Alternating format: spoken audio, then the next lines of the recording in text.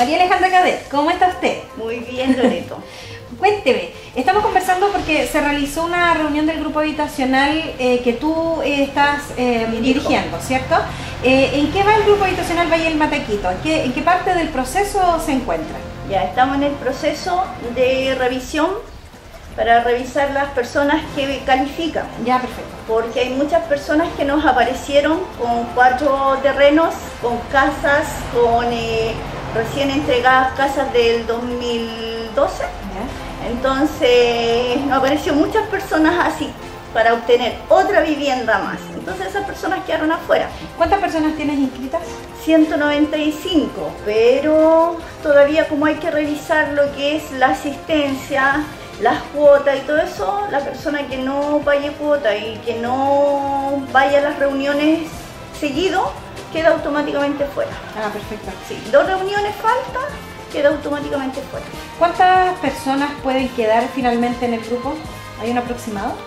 Eh, mira, la aproximada que nos dieron a nosotros eran de 150, pero depende del terreno. Ah, el terreno que estamos viendo nosotros son 4 hectáreas, 5 hectáreas, entonces caberían por lo menos 190 y algo. Ah, perfecto. Si no, no habría problema. Si es que todos estuvieran yendo a reuniones. El problema es que a todas las reuniones que van, o sea, que hemos hecho, si somos 195 personas, están asistiendo 80 o 100. Entonces nosotros ahora con la secretaria estamos, nos pusimos bien pesados en ese, en ese cuento. Bueno, también con la, con la misma gente que nos autoriza, porque nosotros no podemos llegar y tomarnos parte de esto sola. Entonces la gente nos autoriza, la asamblea, y nos dice, no, sabe que este cuento es así, entonces nosotros empezamos a revisar las nóminas de las personas, la persona que nos va a dos reuniones queda afuera y nosotros le damos la, prioridad a la persona que realmente necesita y realmente asista a las reuniones. ¿Cuáles son los requisitos que tiene que tener una persona para estar en el grupo de ustedes? Los requisitos para postular a la vivienda, no solamente en el grupo, son ficha de protección social, menos de 8.500 puntos. Que ahora es el eh, registro social de hogares. registro social de hogares. ¿Y el porcentaje cuánto deben ser? El porcentaje no sabría decirle, pero son hasta 11.000 y tanto que era la antigua ficha. Ya, eh, tener carga familiar, que vendría siendo hijo o pareja. Eh, no importa que sea soltero, pero tener la carga familiar, pero la carga no significa pagar pensión alimenticia, la carga significa vivir con esa persona ah, y tener la ficha. Ya, segundo, eh, mayor de 60 años postula solo, sin, carga familiar. Eh, eh, adulto mayor, preso político ¿Ya? Y indígenas. Ellos pueden postular solo. Ellos postulan solo, tienen un beneficio que les da el gobierno. ¿Y qué más podría ser? La, plata. La, plata, son 250 mil pesos en este momento pero siempre nosotros estamos pidiendo un poquito más, pongámosle 10 mil pesos, 260, para que no vamos topados el día de que se postule. Y para después se puede usar para un trámite, ¿o no? Eh, no, porque eso queda en la libreta. Ah, no, no se la, no la tocan realmente. Entonces es importante que la gente que tiene ese ahorro no gaste un peso de No saquen, o sea, lo que más pedimos nosotros es que no saquen nada, no muevan, no giren, solamente depositen nomás. Pero no que hagan ningún trámite de sacar plata porque lo que pasa es que como somos grupo, entonces una persona que saque 10 mil pesos de la libreta nos echa para atrás a todo el grupo, no es solamente esa persona, sino que echa para atrás todo el grupo el día de la postulación. Como somos nosotros grupo habitacional, no postulamos en los llamados, para que la gente entienda, porque anda toda la gente revoloteada de que hay un llamado ahora. El 19 de abril, claro. El 19 de abril hay un llamado. Nosotros no postulamos cuando hay llamado. Nosotros como somos un grupo habitacional, postulamos durante todo el año. Entonces, apenas nosotros tengamos listo el terreno, nosotros entramos a postular, porque es más fácil nosotros como grupo habitacional postular con proyectos. Proyecto se llama tener el terreno listo. Entonces, porque si no tuviéramos el terreno, sería muy engorroso de que de entramos a postular, nos ganamos el subsidio y, son dos años que hay que buscar un terreno y si no lo encontramos, entonces mejor es eso. Vale, y el terreno ya está visto. El terreno está visto, pero faltan algunos detalles, que habían dos terrenos. Entonces un terreno no, no, cumplía, con, no cumplía con los requisitos y el segundo terreno sí cumple con los requisitos, pero hay un problema de que lo que nos piden dos salidas. Ah, Una que vendría siendo por la Padre Carmelo, por atrás, y la otra vendría siendo por las villas nuevas, no sé exactamente cómo se llama.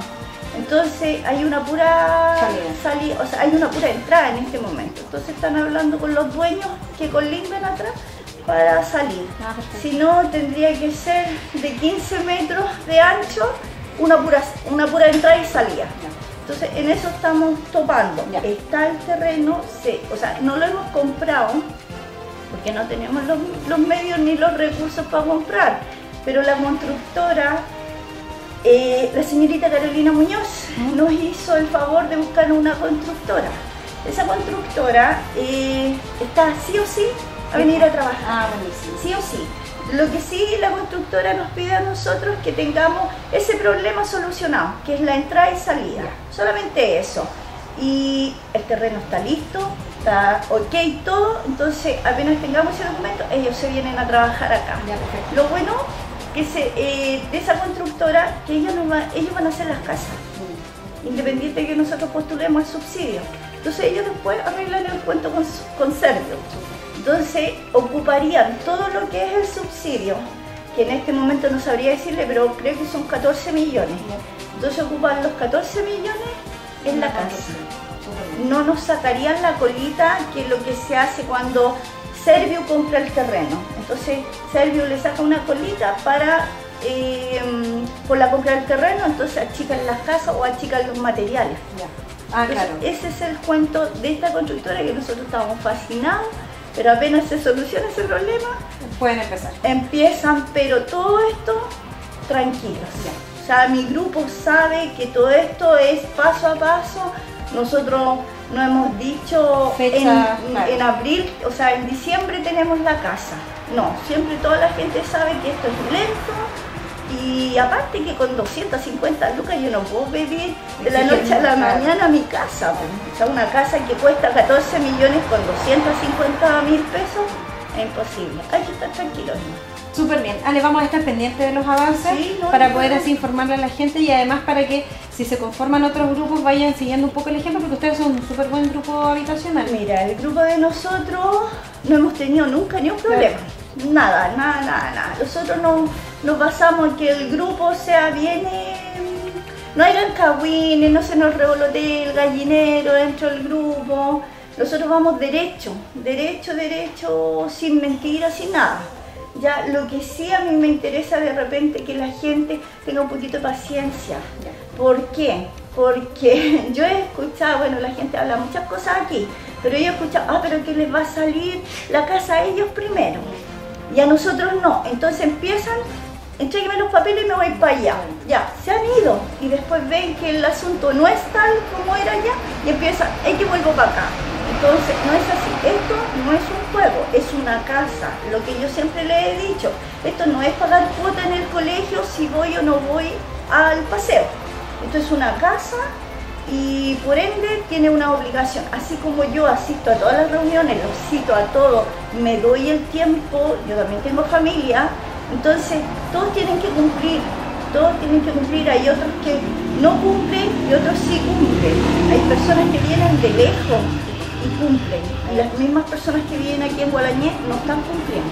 Vamos a estar pendientes de todo eso para poder ir informando. Sí, no, ni un problema. Yo les aviso cuando tenga reunión y ustedes van nomás. Es súper bien entretenida las reuniones porque se explica, se... Cierto, uno aprende también. Aprende y la gente está, está de acuerdo con lo que hemos hecho. Realmente yo ya llevo seis años en esto, de cuando se empezó este comité y la gente me ha dado todo el apoyo, todo el favor y ni un problema, yo estoy trabajando para mi casa, yo soy la más interesada en mi casa. De todas maneras. Ale, que estés muy bien. Igual, pues, gracias, por conversar con nosotros. No, gracias a ustedes por, por entrevistarme y, saber cómo va el comité.